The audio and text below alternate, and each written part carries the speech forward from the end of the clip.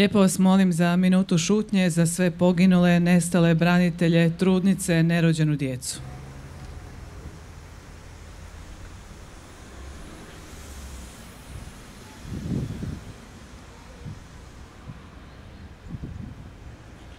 Pokoj vječni darovim gospodine. Počivali u miru Božjem. Poštovane dame i gospodo, dobar dan, hvaljen Isus i Marija. Dobrodošli na događaj koji je Udruga Hrvatska za život čekala punih pet godina. Otvorenju spomenika Ruža Hrvatska. Najprije želim zahvaliti Juraju Elezu i profesorici Renati Somrak na dostojanstvenom izvođenju hrvatske himne. Koristim priliku među vama pozdraviti i zahvaliti na dolasku u ime Đakovačko-Osječkog nadbiskupa Monsinjora Đure Hranića, pomoćnom biskupu Đakovačko-Osječke nadbiskupije Monsinjoru Ivanu Ćuriću, sisačkom biskupu Monsinjoru Vladi Košiću, županu Vukovarsko-Srijemske županije Damiru Dekaniću i suradnicima, te gradonačelniku grada Vukovara Ivanu Penavi. Drago mi je da je među nama danas i predsjednik Udruge Hrvatska za život Ante Čaljkušić, a čast mi je pozdraviti i autora spomenika, akademskog kipara Lovru Jakšića, čija bista Jean-Michela Nikoljeja već krasi centar Vukovara. Posebno mi je zadovoljstvo među nama pozdraviti i Ružičinu kćer Adnanu koja je doputovala iz Njemačke kako bi prisustvovala ovom događaju. Spomenula sam već da je ovaj događaj Udruga Hrvatska za život čekala pet godina. Providnost je htjela da to bude upravo uoči 30. obljetnice pada grada Vukovara, a sam datum otvorenja na prvu godišnjicu smrti Ružičinog supruga Davora. Ružica Markobašić i njen nerođeni sin Antun bili su žrtve brutalnog ubojstva na Ovčari. Stojimo pred ovim spomenikom ovdje kao znakom trajnog sjećanja i zahvalnosti za žrtvu Ružice i njezina sina, ali i svih trudnica, nerođene djece, te svih onih koji su položili život vjerujući u Krista i za slobodu Hrvatske. Vjerujemo i molimo da uživaju vječni život kod gospodina, da njihova žrtva nije bila uzaludna, te da se ovakvi zločini više nikada neće ponoviti. Glavna koordinatorica projekta spomenika Ruža Hrvatska je Lidija Dugan, koja će nam približiti što se sve događalo u proteklih pet godina i kako je došlo do ovog trenutka svečanog otvaranja spomenika. Lidija, izvolite.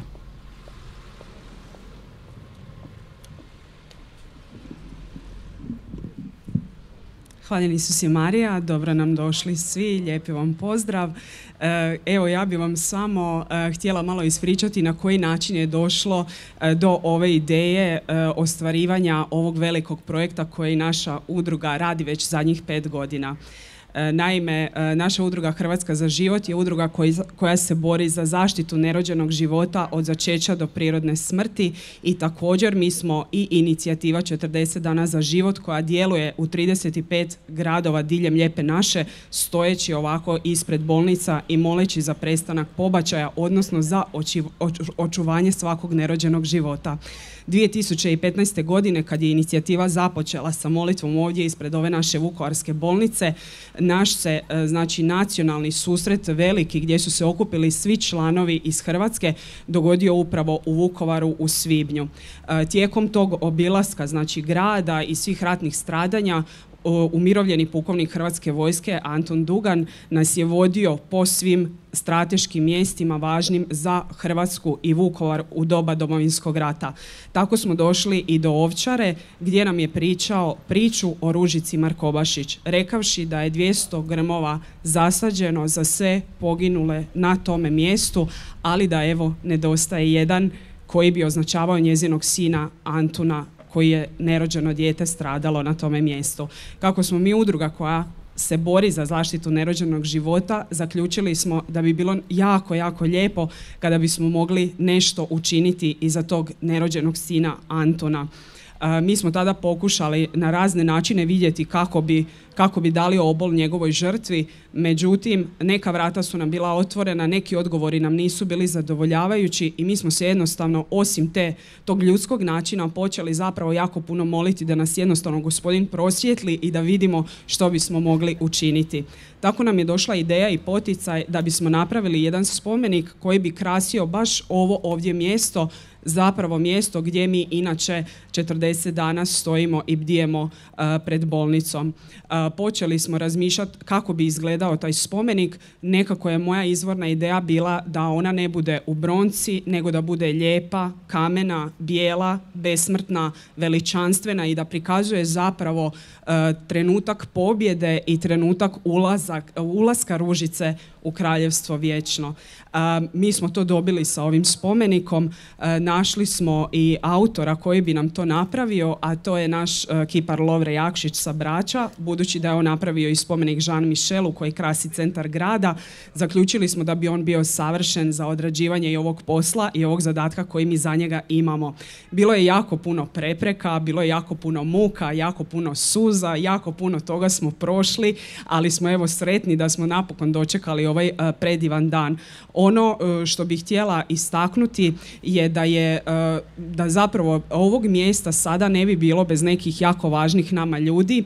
E, to je naš arhitekt Damir Moskalj, to je naš kipar Lovre Jakšić, to je predsjednik moje udruge Ante Čaljkušić koji je zapravo i došao na ideju da se da obol ovoj žrtvi i to su svi oni ljudi koji su sudjelovali na, da bi ovo mjesto danas bilo ovdje otvoreno. Također bih htjela posebno i zahvaliti našem dragom gradonačelniku Ivanu Penavi koji nam je iskazao još prije dvije, tri godine kad smo mu došli s tom idejom, iskazao nam je dakle podršku i rekao da će učiniti sve što je njegove moći da nam pomogne da to e, i ostvarimo. Ovo mjesto zamišljamo kao e, mjesto pobjede, ovo mjesto e, je zamišljeno kao mjesto dakle iscijeljenja da na njega mogu doći danas sutra sve majke koje su prošle eventualno iskustvo pobačaja, bilo da su same to izabrale nažalost učiniti, bilo da su doživjele spontani pobačaj, gubitak djeteta ili članovi obitelji koji su izgubili neku trudnicu u ratu, da mogu doći ovdje, da mogu gledati u ružicu i da mogu jednostavno osjetiti mir u svome srcu. E, kako je Božja providnost zaista veličanstvena, e, kad smo dogovarali sa gradonačelnikom koji bi zapravo dan bio važan i da ga napravimo kao otvorenje spomenika, on je izabrao da to bude 16.11. Taman dva dana prije kolone sjećanja.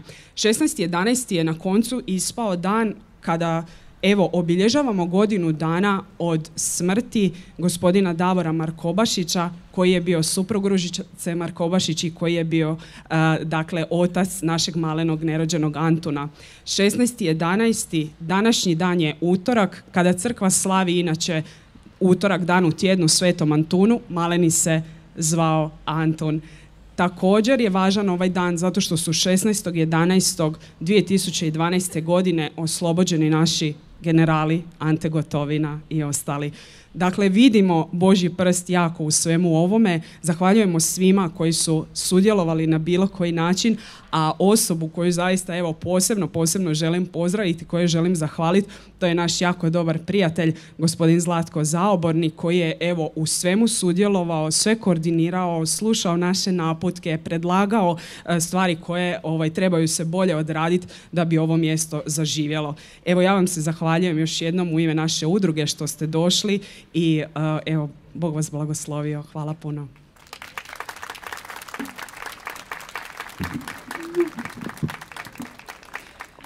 Hvala lijepa Lidiji Dugan. Sada lijepo molim gradonačelnika Ivana Penovu da nam uputi nekoliko riječi. Dobar dan svima.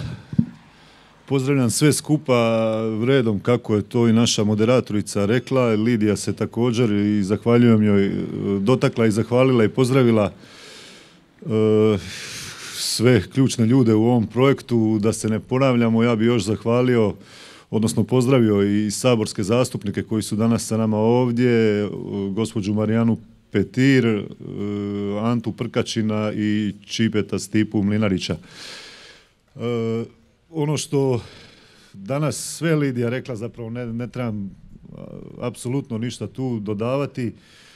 Želim vam zahvaliti svima na vašem doprinosu, a doista vas je puno koji ste doprinijeli evo današnjem ovom događaju E, drago mi je iz e, Lidinih riječi e, odiše jedan mir i tako i treba biti.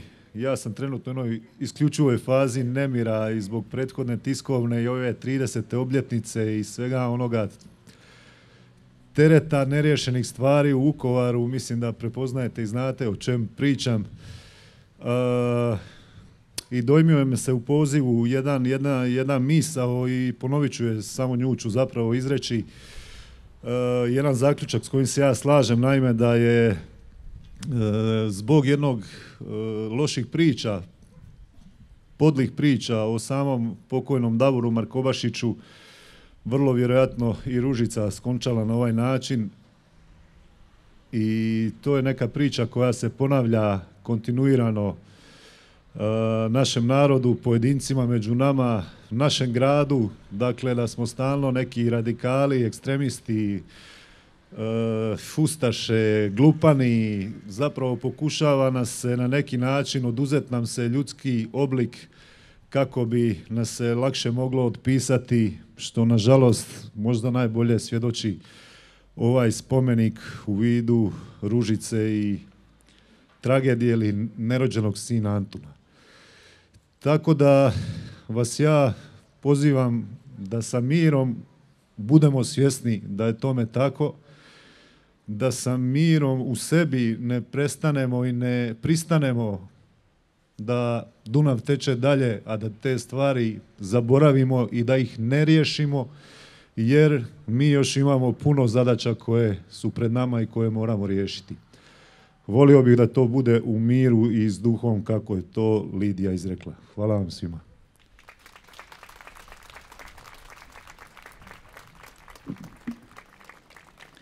Hvala lijepa gradonačelniku. Vrijeme je za tri recitacije. Prvu, Mala gospo Marija Antuna Gustava Matoša, izvešće učenica Eva Šibalić, dijete mnogobrojne obitelji čiji je djed pukovnik Hrvatske vojske.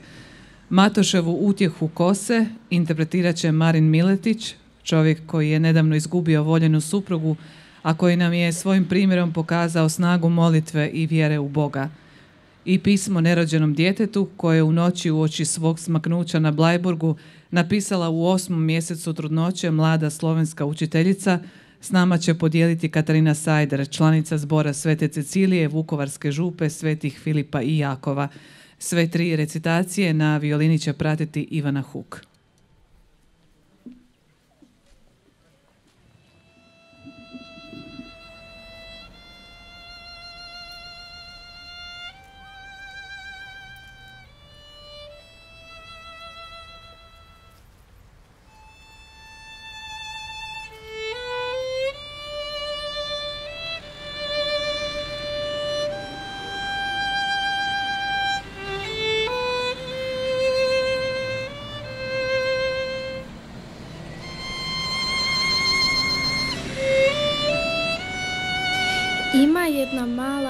Gospa Marija, što sve mi draža biva što je starija.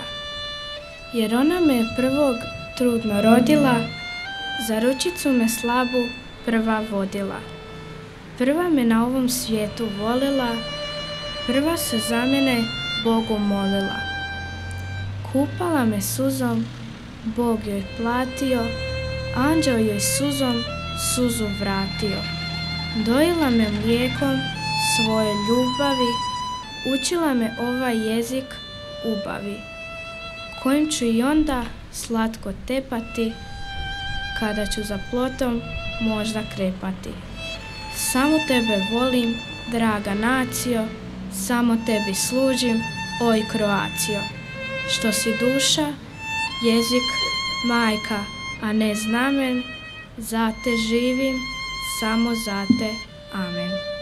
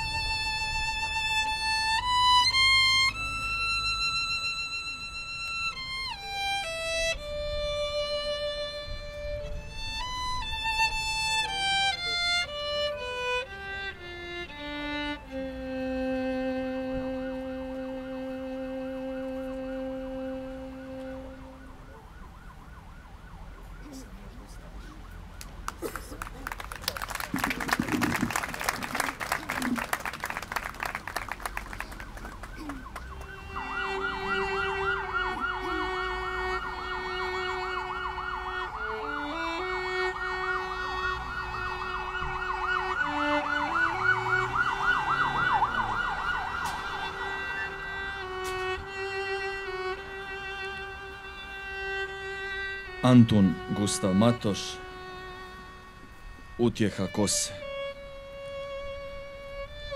Gledao sam te sinoć u snu tužnu mrtvu. U dvorani Kobnoj u idili cvijeća na visokom odru u agoniji svijeća.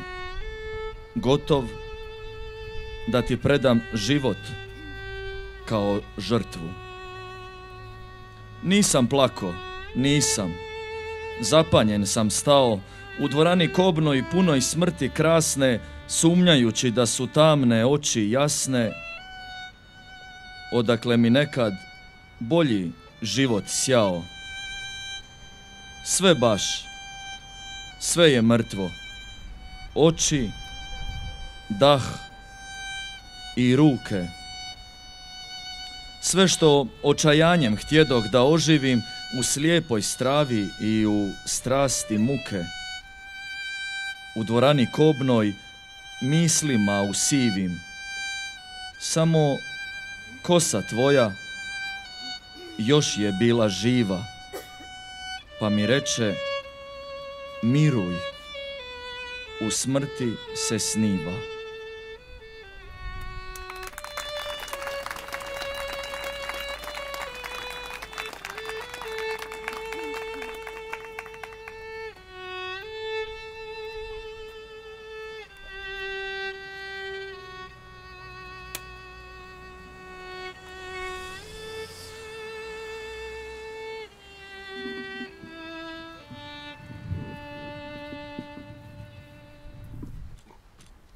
Još nekoliko sati do kraja moga života. O Bože, o ti žalosna majko Božja, moja mati, ti znaš da umirem nedužna kao što je umirao tvoj nedužni sin. O moje djetešce, moj nježni anđele, kako bih rado vidjela crte tvoga lica, nježne bisere tvojih pogleda. Nikada neću vidjeti tvoj rascvjetani osmijeh koji bi me usrećivao.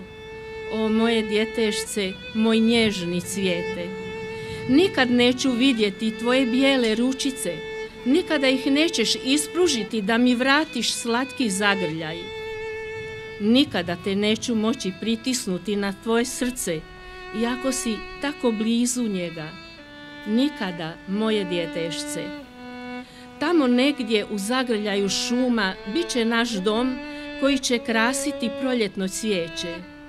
Moja usta ti neće moći pjevati pjesmu nad kolijevkom, a kolijevka tvoja bit ću ja sama, iako tako hladna i otvrdla. Grane nad nama pjevat će ti i šumiti ljubljenu uspavanku. O, samo mirno spavaj, moje djetešce, da tako si blizu moga srca koje te ljubi. Pa ipak, ne možete istrgnuti iz zagrljaja smrti koja i tebe čeka. Samo mirno spavaj, jer i ne slutiš što se približava.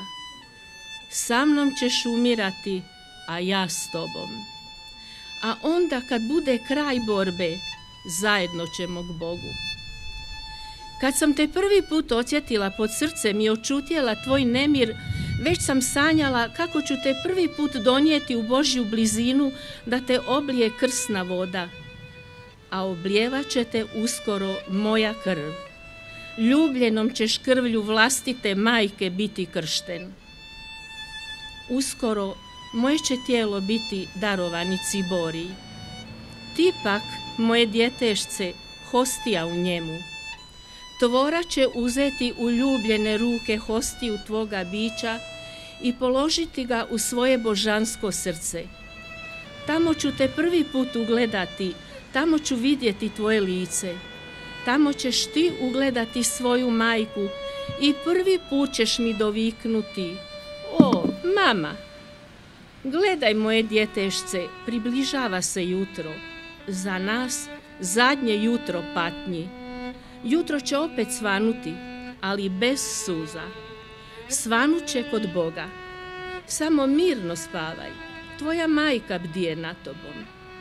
Gledaj, crvena zora najavljuje da se dan budi i zadnje zvijezde gase se u njoj. Sat na tornju najavljuje jutro koje će nas odvesti na posljednji put. Ali neću biti sama, sa mnom ćeš biti i ti, moje djetešce. I Marija kao onda sa sinom na Kalvariji, ići će s nama. U posljednjim uzdasima stajat će uz nas i odvesti nas u vječno sretni dom. Nitko nam više neće remetiti sreću, bit ćemo uronjeni u vječnoga Boga, njegov vječni mir. Moje djetešce, samo spavaj, Marija je s nama. Gledaj, dolaze, dolaze.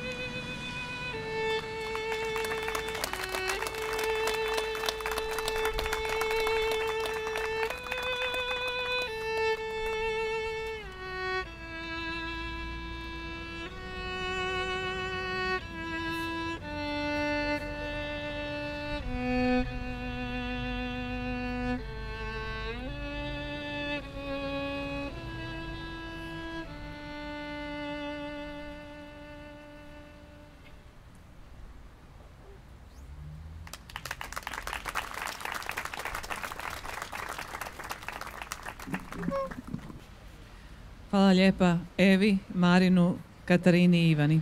Ostavili su komadić duše u svojim interpretacijama. Vrijeme je za blagoslov spomenika i prisutnih i službu riječi. Lijepo molim sisačkog biskupa, monsignora Vladu Košića, da blagoslovi. Odnosno lijepo molim pomoćnog biskupa Đakovačko Osječke na biskupije, monsignora Ivana Ćurića da to učini.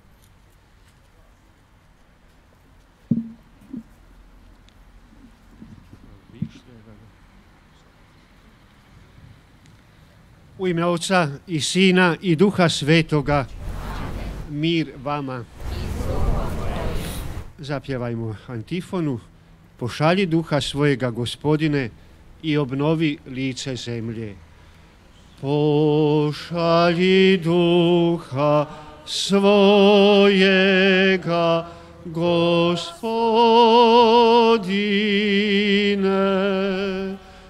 i obnovi lice zemlje.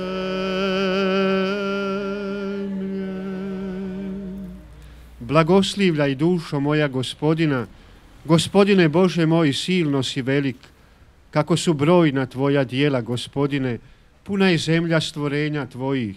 Sakriješ li lice svoje, tad se rastuže. Ako dah im oduzmeš, ugibaju, i opet ih u prah vraćaju. Pošalješ ih dah svoj, opet nastaju i tako obnavljaš lice zemlje. Slava Otcu i Sinu i Duhu Svetomu.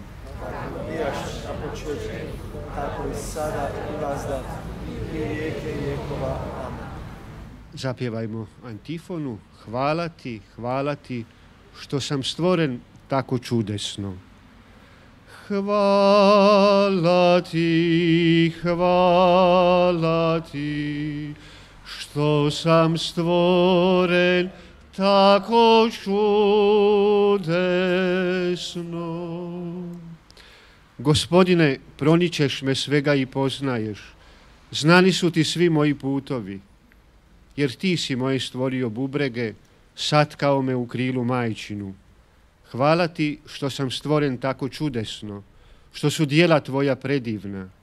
Dušu moju dodna si poznavao, kosti moje ne bijehu ti sakrite, dok nastajah u tajnosti, otkan u dubini zemlje. Slava Ocu i Sinu i Duhu Svetomu. tako i sada i vazda, i vijeke vjekova. Dragi oče biskupe Vlado, dragi oci Franjevci, sva draga braćo svećenici i sestre redovnice, poštovani saborski zastupnike, gospodine župane, gospodine gradonačelniče i svi predstavnici društvenog života, poštovani liječnici i predstavnici ove nacionalne memorialne bolnice u Vukovaru, sva draga braćo i sestre, a na poseban način dragi članovi udruge Hrvatska za život, predvođeni predsjednikom gospodinom Antom Čaljkušićem i u ovom istočnom dijelu naše domovine, kako vidimo i inicijatoricom ovoga spomen dijela gospođom Lidijom Dugan. Slušali smo i dijelom zajednički izgovarali biblijske riječi iz 104. i 139. psalma. U njima je sadržala mala psalmodija, hvalospjev Bogu stvoritelju. I kamo god se okrenemo, u dubinu i visinu, na sve strane našega svijeta i svemira, mi prepoznajemo i otkrivamo Božja stvorenja. U tom, u svjetlu vjere i kršćanske duhovnosti, dragi moji, počiva ono izvorno dostojanstvo svega što postoji. I ne samo na početku. Bog je snagom svog duha obnovitelj života. Sve se njegovom snagom može obnoviti, a na najizvrsniji način, kao ocijal Božjeg postojanja, na njegovu sliku postoji i živi čovjek. Zato nas i ova prigoda učvršćuje u kršćanskoj pouci, da je ljudski život svet, zato što od samog početka zahtijeva stvoriteljevo djelovanje i trajno ostaje povezan sa stvoriteljem svojom jedinom svrhom. Bog je jedini gospodar života od početka do svršetka. Nitko ni u kakvim okolnostima ne može sebi uzeti pravo da izravno usmrti nevino ljudsko Božje stvorenje. U vremenu domovinskog rata, 94. godine, sveti će papa Ivan Pavao II. poručiti crkvi i cijelom svijetu. Svi smo pozvani činiti što je moguće da bi se od ljudskoga društva udaljila ne samo strahota rata, nego također svako ugrožavanje ljudskih prava, polazeći od onog neprijepornog prava na život koje ljudska osoba ima od samoga začeća. U gašenju prava na život, makar samo jednoga ljudskog bića, sadržana je, veli sveti papa, klica i krajnjega ratnog nasilja. A upravo u ljeto 1991. godine, kad su započinjala ratna stradanja u cijeloj našoj domovini, a napose u ovom vukovarskom kraju, ističe papa, imajući pred sobom brojne tragedije izazvane ratovima, u naše suvremeno doba ovako ustvrditi. Ovom groblju žrtava ljudske okrutnosti 20. stoljeća pridodaje se još jedno veliko groblje, groblje nerođenih, groblje bespomoćnih, čije lice nije upoznala čak ni rođena majka, a već su imali taj život, već su bili začeti, razvijali se pod srcem svojih majki, ne sluteći smrtnu opasnost. Toliko je toga draga moja braćo i sestre, svetoga, dostojanstvenoga, nježnoga i osjetljivoga, nažalost, često nezaštićenoga i ugroženoga, uprizoreno u ovom spomeniku trudnici.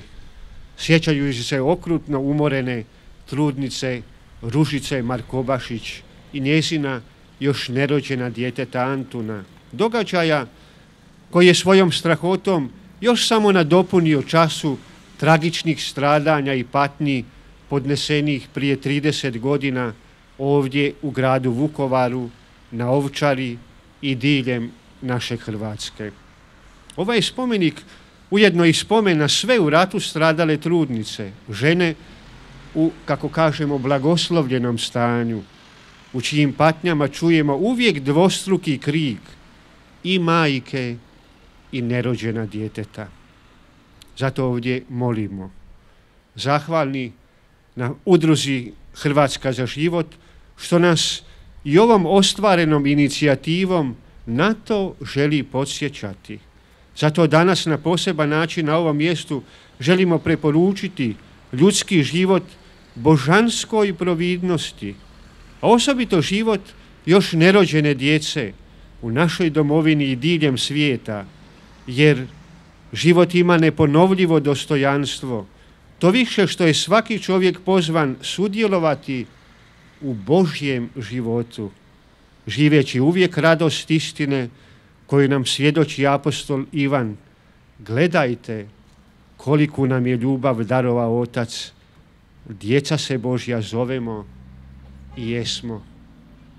Zato ćemo i moliti gospodinovu molitvu u kojoj će nas i u blagoslovu predvoditi biskup Vlado.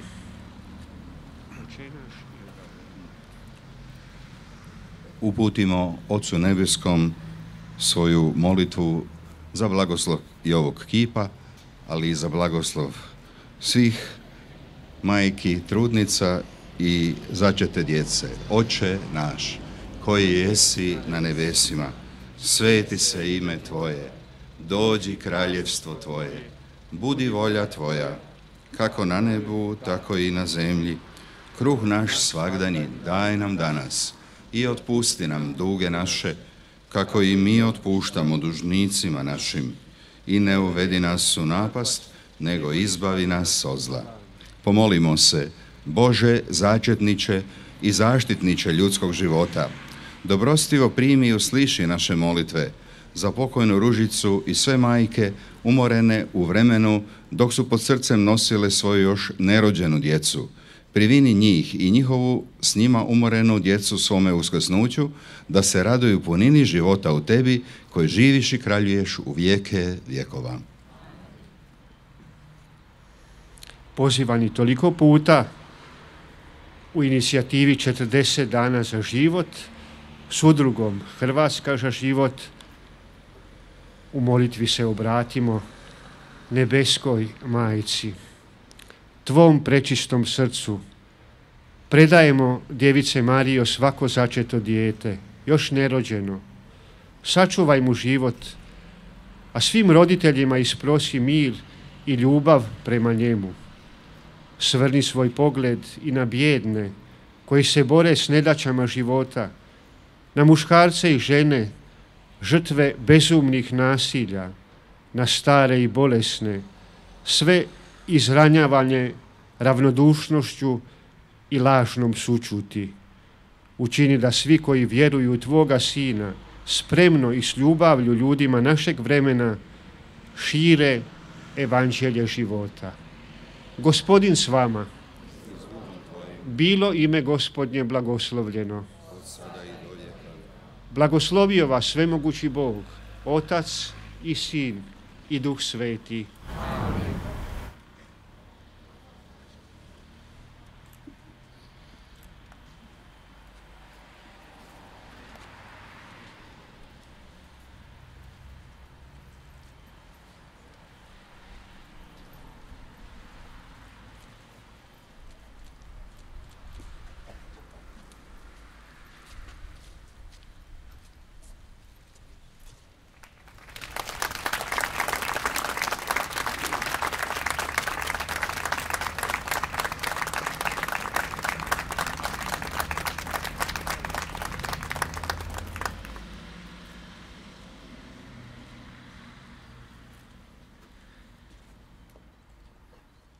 Ovaj spomenik stoji ovdje i za sve trudnice i njihovu djecu stradalu u ratovima na hrvatskim područjima, a borba za trudnice, njihove obitelji i nerođenu djecu te za izgradnju kulture života posebno je na srcu udruzi Hrvatska za život, kako smo čuli u više navrata. Predsjednik udruge Ante Čaljkušić sada će nam se obratiti s nekoliko riječi.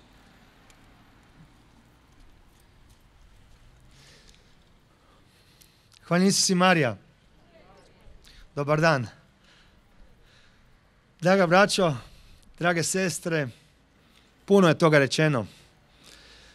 Želim vam svima jedan osjećaj mira, osjećaj nježnosti. I neka vas te emocije prate kada krenete svome domu. I da prenesete ono što ste doživjeli na ovome mjestu. Mira i spokoja. Želim odgovorno s vama nešto podijeliti.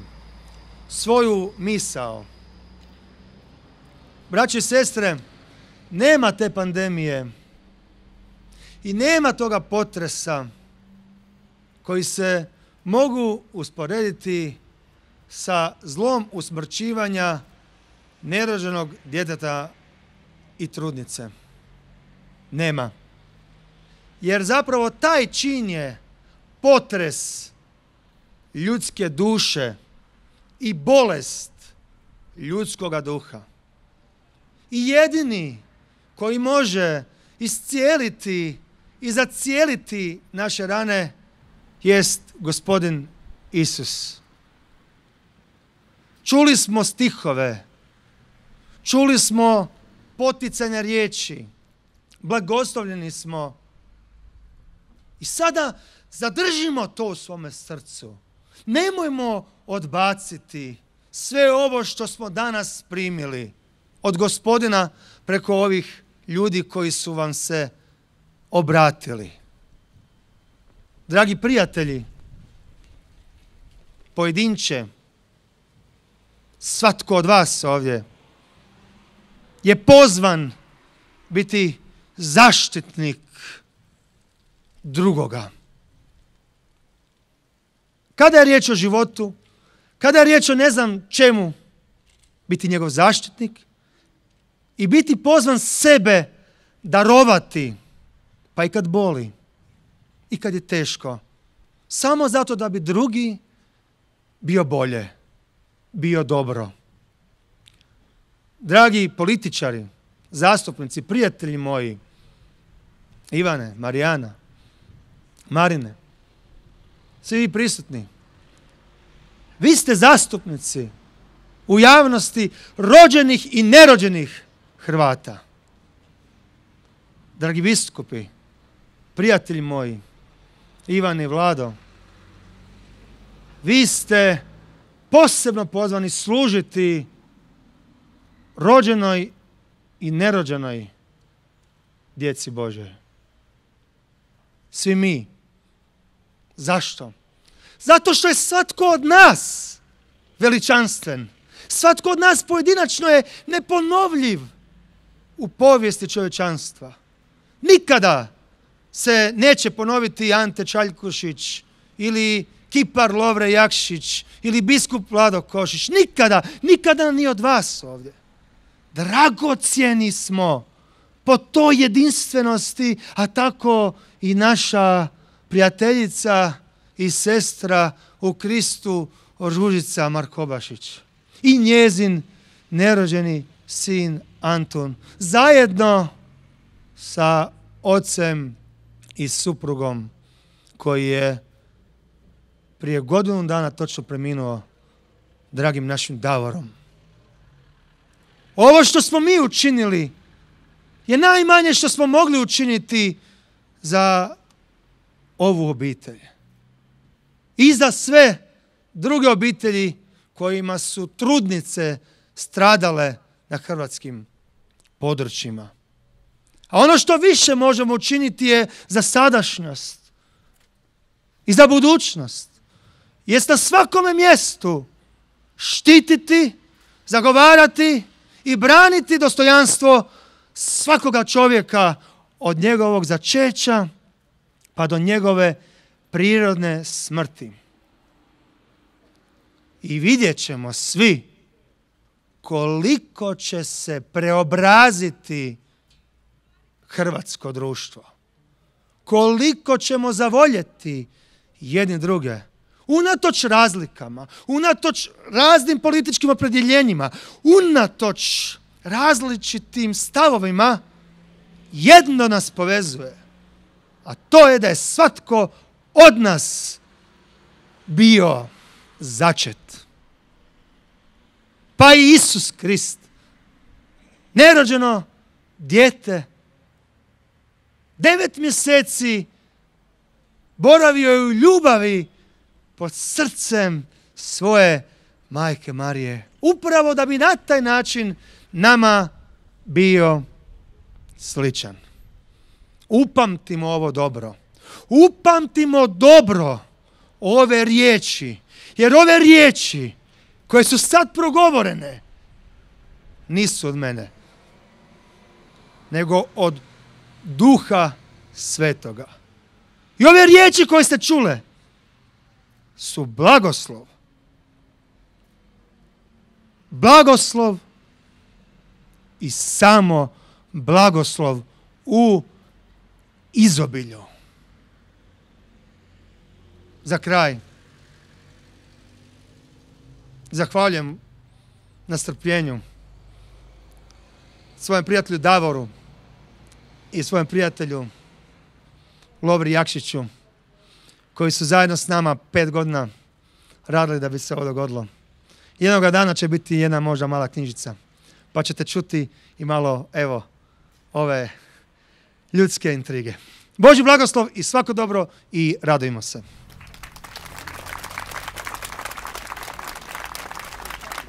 Hvala lijepa Anti Čaljkušiću. Hvala lijepa i svima vama što ste bili dio ovog povijesnog trenutka za grad Vukovar, ali za čitavu Hrvatsku. Završili smo službeni dio ovog svečanog otvaranja spomenika. Sada ostanimo zajedno u pjesmi i druženju. Hvala vam.